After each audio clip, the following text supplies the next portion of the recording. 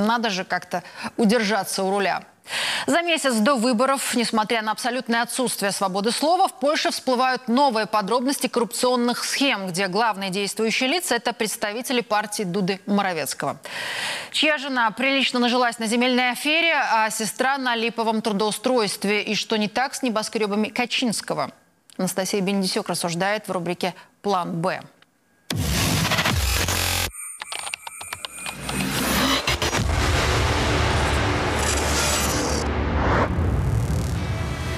Правящая польская партия ПИС «Право и справедливость», где ни того, ни другого.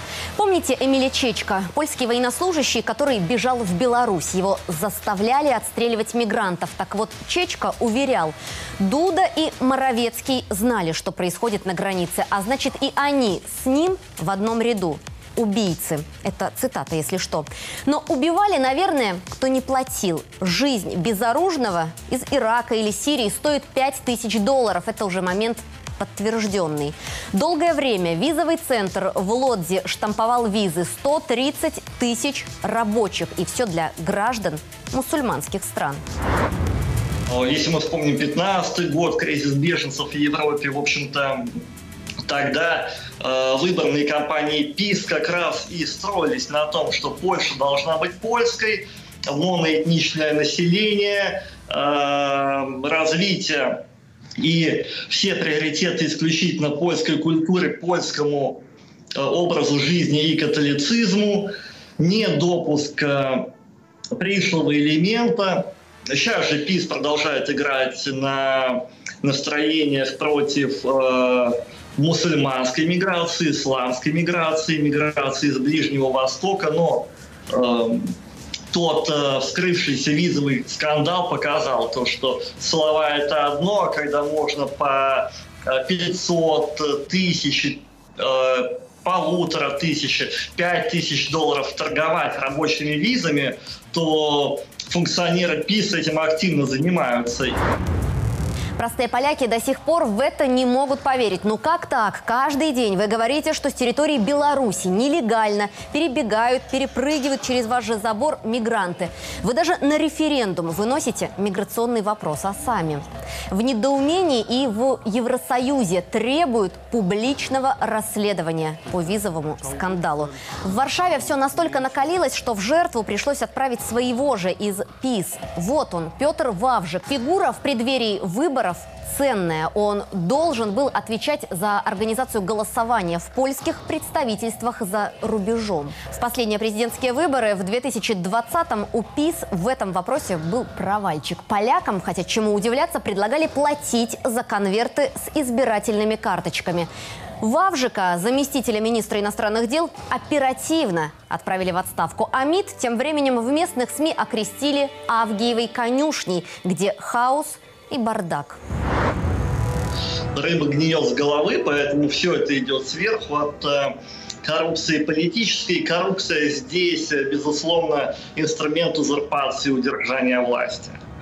Э, люди подкупаются, люди запугиваются, подкупаются, повторюсь, не всегда финансово, но политически должностями, сферами влияния. Рядовые поляки тоже чувствуют, как Э, у них пытаются что-то выманить э, на улице, дорожная полиция, э, медучреждения, мелкие чиновники и бюрократы, потому что задана такая модель поведения, задана сверху, политическая коррупция рождает коррупцию бытовую.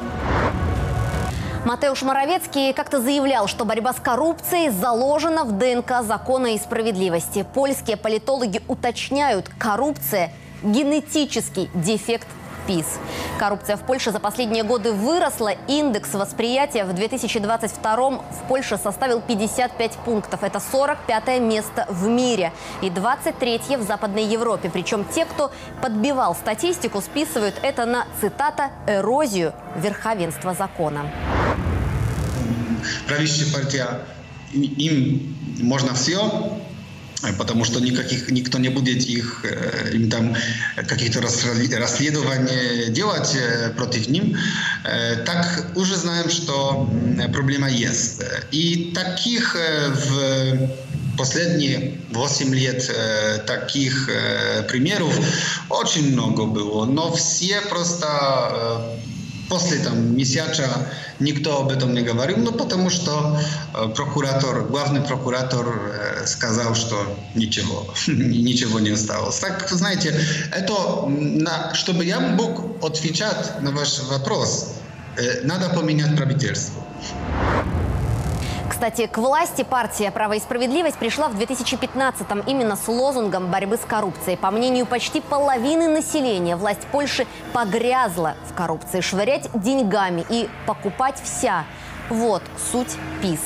В 2017-м должности лишился официальный представитель Минобороны Польши Бартоломей Мещевич. Уж слишком открыто кутил, не на свои.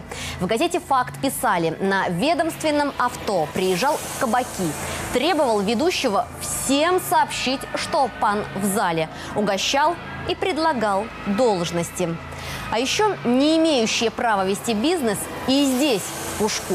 В 2019-м Качинский заморался с нелегальным бизнесом партии и стройкой небоскребов в центре Варшавы за 300 миллионов евро. По одной из версий и бобровники польский пункт пропуска закрыли из-за взяток их таможенников. Белорусская повестка – лишь возможность прикрыть свои коррупционные дела. Была у ПИС еще резолюция по противодействию кумовству. Ее представлял Качинский, но в документе столько исключений, что по факту ПИС кумовство легализовал. А что Моровецкий, который смел что-то сказать про закон и справедливость в ДНК? Родная сестра премьера фиктивно работала административным помощником в отделе муниципального управления в Чебнице, которого, по данным новой газеты Чебницкой, даже не существовало. Инцидент этого года. Зарплату она получала с 2019 -го. Аферистка и супруга Моровецкого пару лет назад продала земельный участок за почти 4 миллиона долларов, купив его до за 185 тысяч долларов. Те, что за право и справедливость, за деньги и только для себя. Что будет с Польшей? ПИС не волновало ни раньше, ни сейчас, в преддверии парламентских выборов. Главное – усидеть в кресле. Могильщики Родины готовы жертвовать своими людьми. 40 миллионов поляков Моровецкий предлагает отправить на войну с русскими. В Польше нет столько людей, там и до 38 миллионов не дотягивает. И это еще надо отнять политиков, у которых есть куда бежать, и их детей, которые и сейчас, например, в Лондоне, в тепле. Правда, Матеуш?